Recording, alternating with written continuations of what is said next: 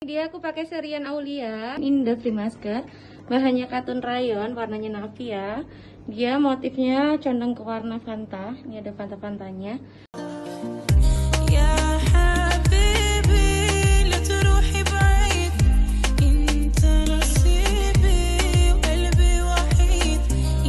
Assalamualaikum, ini aku pakai Aulia dress LD110 Ada karet belakangnya dan panjang gamis 140 Free masker hijab.